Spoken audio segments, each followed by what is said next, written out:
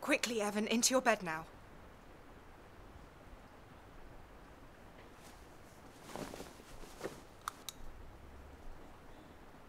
And don't come out until morning.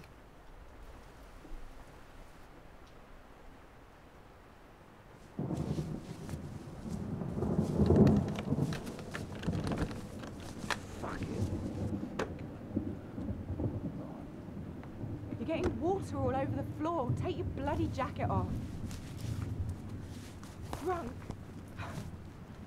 Have you just been pissing away all our money at the pub again?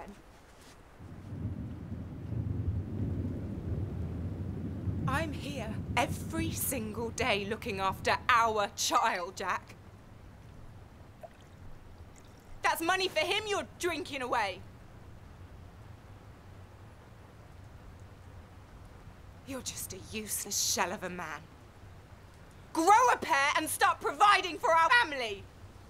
Bitch, don't you ever try and tell me what to do.